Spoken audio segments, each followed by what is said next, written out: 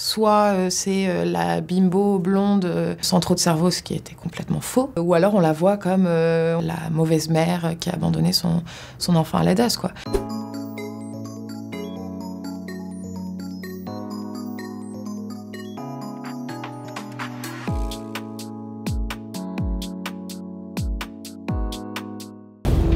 Ça cartonne aux Pays-Bas.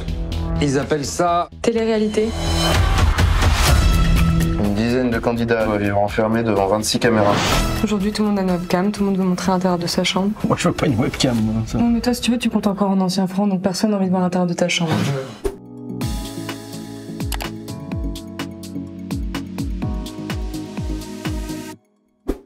Pense que c'était important d'aller sur une certaine ressemblance. Après, le piège dans lequel on pouvait tomber, je pense que c'était aller uniquement dans l'imitation. Donc j'ai essayé de travailler le plus possible en amont avec la voix, avec la façon de, de bouger, etc. Pour le travail, j'avais tellement de matière entre son livre, le loft, tous les interviews, toutes les vidéos d'elle que j'avais assez de matière pour travailler.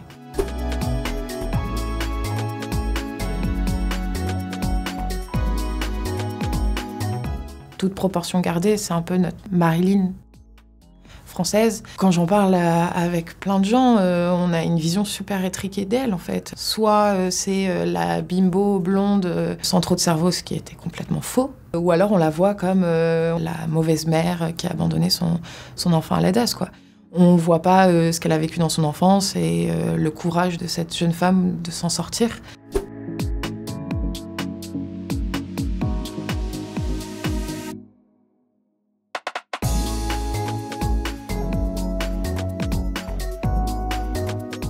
Les Américains ont un mot pour ça. Ils disent le buzz. J'arrive dans 3 minutes là, ils sont toujours dans la piscine En direct. C'est une blague? On va se prendre le CS en pleine gueule.